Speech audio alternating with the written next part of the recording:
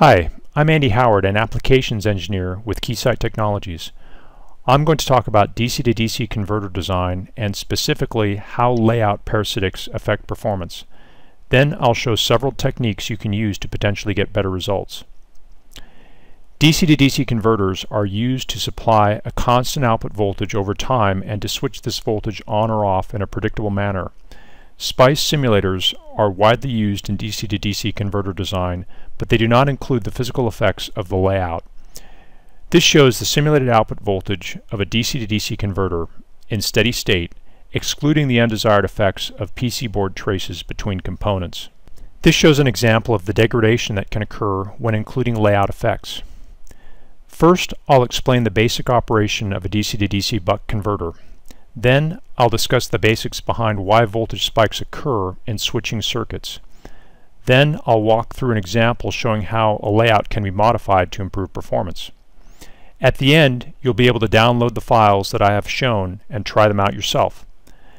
You'll be able to use these as a starting point or for ideas to apply to your own designs. Okay, let's get started.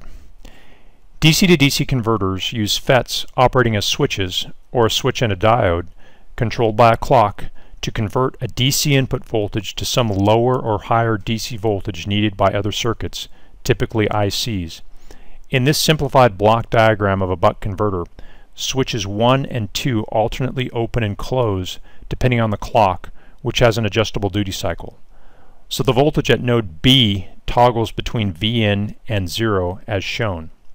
In reality, node B will not be these ideal values due to voltage drops across the switches.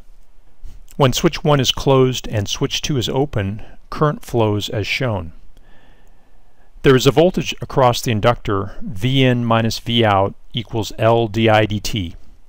Since Vout is lower than Vin, didt is positive in the direction of the arrow, and the output capacitor charges up, which causes the output voltage to increase. When switch 1 is open and switch 2 is closed, current flows as shown. You're probably thinking this looks wrong, and why doesn't the capacitor discharge through the inductor? The inductor's magnetic field acts to try to maintain the current through it in the same direction. Now the voltage across the inductor is 0 minus Vout equals L didt. didt now has a negative sign meaning the inductor current will decrease and Vout starts to decrease. If the clock is operated such that the converter switches back to state 1 before the current in the inductor decreases all the way to 0, this is known as continuous mode, then it can be shown that in steady state the output voltage is proportional to the duty cycle, the fraction of the clock period that switch 1 is closed. Ideally, in steady state, the output voltage is approximately constant, assuming the load does not vary, as the switches alternate states. The increase or decrease in inductor current during the switching cycles must be absorbed by either the output capacitor or the external load. The output capacitor current is given by I equals C dV dt. The larger the output capacitance, the larger the current it can absorb while maintaining a small dV dt, which is desirable since we want to minimize variation in Vout. The capacitance and inductance values also determine the transient behavior, how rapidly the converter can respond to changes in the load. You can simulate these converters using ideal switches initially, then replace them with FETs. Okay, I've talked about basic DC to DC converter operation. Why is it important to minimize ripple and voltage spikes? With ICs operating at lower and lower voltages, the tolerance on the noise on the generated voltages has become tighter. With supply voltages out of tolerance, ICs with either analog or digital circuitry may fail to operate correctly. The layout and rapid current transitions may induce electromagnetic interference. Also, there has been a trend towards operating these circuits with higher clock frequencies, which enables them to use smaller components. Higher clock frequencies mean faster rise and fall times, which means that you really need to include physical aspects of the PC board layout in order to accurately predict and improve performance. You need to be concerned with where in the layout rapid current and voltage changes are likely to occur. How do fast signal transitions and parasitic elements lead to undesired voltage and current spikes?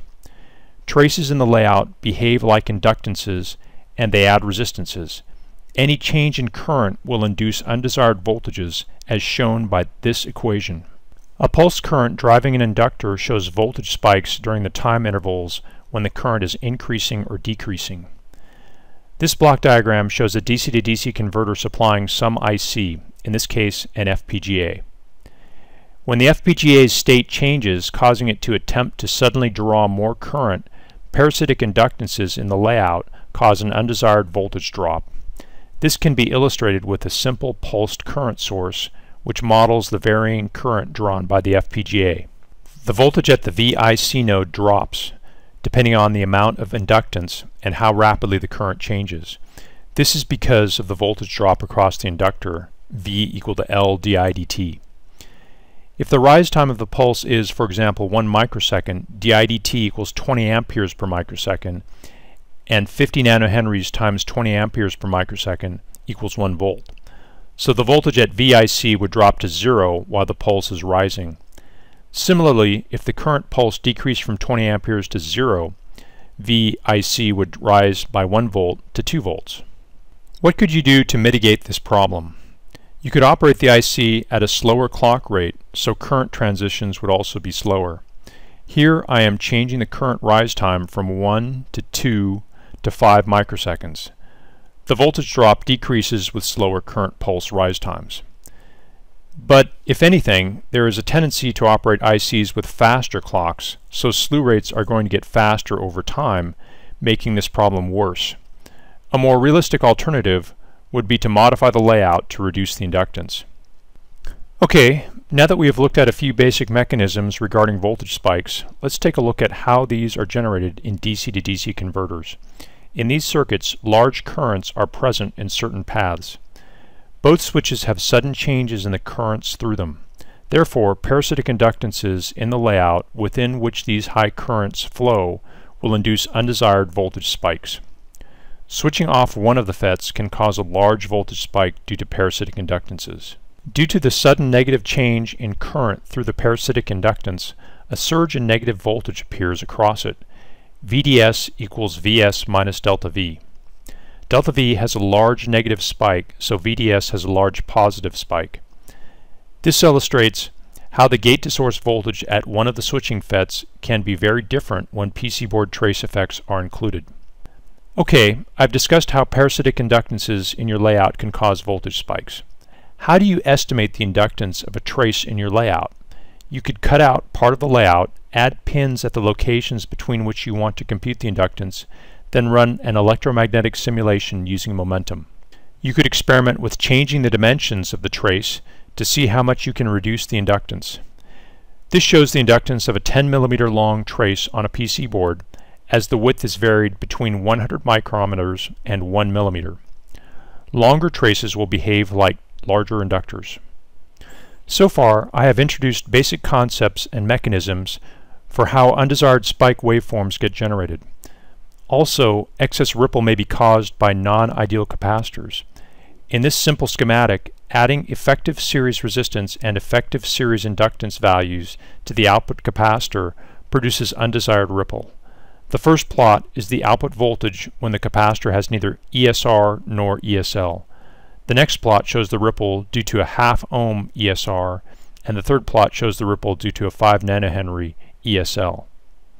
Here I am increasing the ESR from 0 to a half ohm, and here I am increasing the ESL from 0 to 5 nanohenries. The ESR has a more dominant effect in this case. In a SPICE simulator, as with the simple schematics I have shown so far, it is assumed that all of the components are connected together at ideal nodes with no physical distance between any of them. At low frequencies, this is okay, However, as I have shown earlier, the faster the clock transitions, the more important it is to include the PC board to model the physical interconnections between components. Electromagnetic simulation is an ideal tool for accurately modeling the PC board. Plus, the EM simulation results can be combined with various component models to accurately predict performance and investigate potential improvements, and I will show this shortly. Now I'll show a simple example where we will start by simulating a schematic with minimal parasitic modeling. And here we have replaced the second switch with a diode. Then add a PC board layout and simulate it using momentum. This will indicate performance degradation. We will use momentum to look for areas of parasitic inductance and modify the layout to try to improve performance. An initial transient simulation, like SPICE, of the schematic with no layout effects modeled shows only a small amount of ripple, but this depends on the ESR and ESL values we have entered. Let's create a simple layout, simulate it using EM, then place components on it. Just for illustration, initially no ground plane is used. Spike noise is now very noticeable. We use current visualization, which shows an undesired parasitic inductance where the current density is high. You can always have the EM simulator save current visualization data directly from the simulation used to create the EM model. However, what is different about what I'm showing here is that this current visualization data is the result of using the other components and sources connected to the appropriate ports of the EM model. There's a document that explains the details of setting up these visualization plots in the example workspace that you can download at the end. With current visualization, you can animate the current density plots if desired.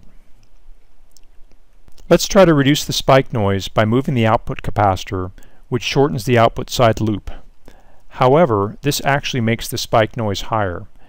Visualization indicates that the parasitic inductance is still present, but its position in the schematic has just shifted. If we go back to the original schematic and insert a 0.9 nanohenry inductor, we can see very similar results. This is a small digression, but look what happens when we change the rise and fall times of the switch signals by a factor of 10. This indicates that a layout that works fine with slow clock rise and fall times could have significant problems with faster ones. We want to reduce the parasitic inductance between the output capacitance and ground. We can accomplish this by adding a ground plane and vias. Spike noise is greatly reduced, and where we have added the vias, we no longer see the high current density as before. In this video, I have shown the causes of voltage spikes and ripple in DC to DC converters and have shown methods of investigating and reducing these by including layout effects in simulations. As rise and fall times get faster with increasing clock rates, accurately modeling layout effects is becoming a crucial step in the design process. ADS makes it easy to simulate your layout and combine the results with models of other components. Current visualization helps you see potential problem areas in your layout that you might want to change to improve performance. There are many additional useful simulations in the workspace that you can download by clicking the link in the text description associated with this video or by typing in the URL shown on this slide. Thank you for watching.